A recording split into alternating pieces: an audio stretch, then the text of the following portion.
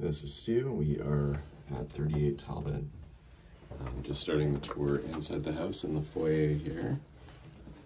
Um, the tour dog today is very uh, friendly. Okay, we've got a nice walk-in, walk-in, sorry, nice deep closet for your coats. Into, I guess, I guess, separate foyer area here that picks up on the hall decent sized living room here. You can see the orientation they've put it in. Um, it looks a little less open with the sectional in here. And then they've kind of broken it off with this table. The chair hiding here, the fireplace is kind of hidden. Um, we'll see on the outside the chimney stack um, isn't looking like it's in the best shape, might need some uh, repointing if it's salvageable. Um, definitely want someone to look at that. Um, we have a dining area here. I noticed the uh, light fixture as well as the lack of overhead lighting in here does make the space seem a little dark. So it could use some upgrades on that front. Probably not super inexpensive to have someone come in and put some like pot lights in or something or just another light in the living room. Could make a big difference in here when you're playing. Um, there is the walkout right there for the, the patio. Um, sliding doors might have had a nicer feel, but these are fully functional. Taking you right out there, we'll do an exterior tour after where this will all make sense, but you have a, decent little deck there with a lower patio. Um, going into the kitchen here. Um, good amount of cabinetry. Appliances aren't super old. Matching set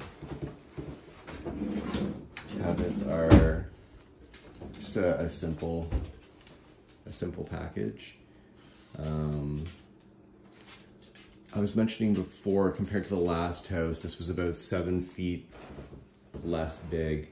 Um, I think this wall could come, I don't want to put you guys up to any massive runos, but I think this could be um, knocked down and turned into an open concept space if you needed that. Otherwise, I will just take you around another walk so you can imagine from this side into the kitchen, into the dining room. All the measurements are right on the, the listing. You can see the size of everything. And into the, the living room there. There could be another option for switching out the dining and living room. Um, I haven't put my mind to it to see if that's feasible, but just have a gander in your mind to see if it works. Nice big linen closet here. We have our bathroom um, with a little hex tile floor, sort of updated vanity. I think maybe a little uh,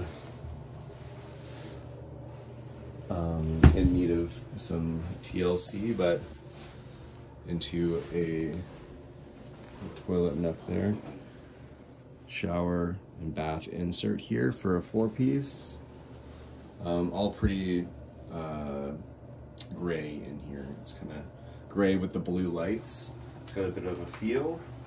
Probably do something a little different. Um, they've got a blind down for the window, but there's your view from the bathroom here. Um, except for when someone goes in and out of the house, it's pretty private. If you didn't want the blind there.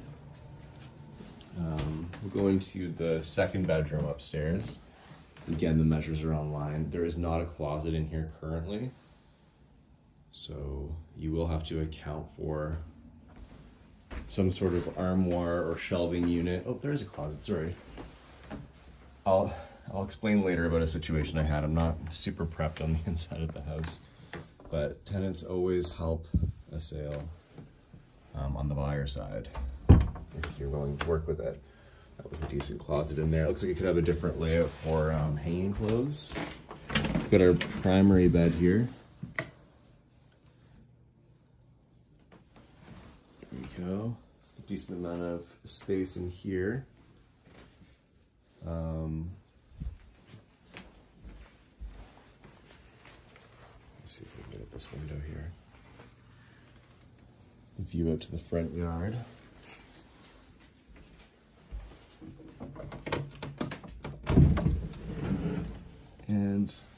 deeper closet back there. Otherwise, pretty simple.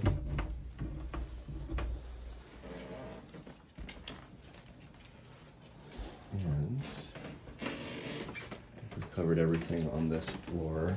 Yet if we go into this, there's an extra little like broom closet here. Go downstairs. Door that takes you to the lower deck patio area here. They were not ready at all for our showing. I'm sure there's um, a more organized way this home normally gets shown uh, downstairs where they have a bedroom set up here. Um, I guess they probably didn't close that off because where the wall would go would make that a bit of an awkward room. And we have the, the pillar over here. Um, one really good note though is that there are all these, um, my goodness, bulkheads here. And they're probably only about six feet um, from the ground. And I think Tom's a little bit taller. So I'm trying to remember how tall he would be. It's just an inch or two above my head. So that's definitely a note. It's not a basement for everyone. Um, we have what could be another bedroom here. I think this is probably what they have as a real bedroom on the, the listing. It's hard to tell what the size is with all the clothes down here, um, all the racks and everything, but I think you should have the right size for a bedroom, which would leave this all open for a living space, which I think is how it was staged on the listing. Um, into a laundry room here for your weekly functionality lots of storage space. The ceiling height in here is great. Um, it's too bad all that bulkhead had to be out there because um, you're probably at seven feet at least by the time you've done your finishes on the roof in here. Joist structure is a little bit overspanned, but um, I think with the distance that it's traveling, which is probably only about 10 or 11 feet, a home inspector wouldn't have a problem with that. Got a nice um, concrete foundation here. Bit of uh, galvanized down there. Um, typically you want to have that replaced. It doesn't look like it's on its last legs. Insurance will just give you a little bit of a hard time about it, not a big hard time. Um, we have a 100 panel, which is pretty maxed out. So that could be a candidate for an upgrade um, to a 200 amp uh, if you needed some more room on there. Otherwise, the electrical appears to be decent. Let me sneak in here. Is that aluminum again? It isn't really a problem. You just have to make sure everything is ESA certified and inspected. Don't think it is. Okay. Got a sump pump here. I don't see any signs anywhere of any flooding, so it's doing its job.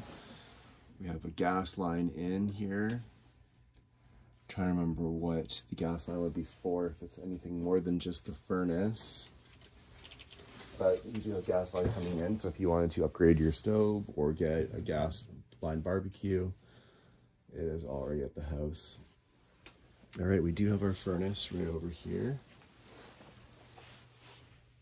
Don't think I can get an easy age off that. Our tag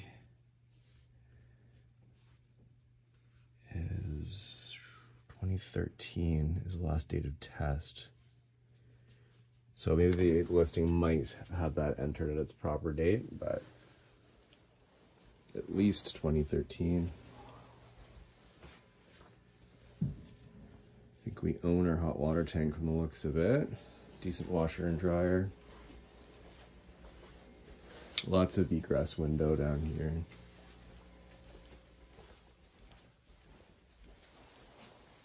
Very faithful. Good dog. And then you little cold storage here. So there are a lot of belongings in the house. I do understand it's probably a little hard to um, visualize everything, but I think between this tour and the listing photos and floor plans, we're doing a lot better than we we were earlier this morning because of the length of the video, I'm just gonna do a separate outside video. Um, the uploads take a really long time once they get this long, and I'll see you outside.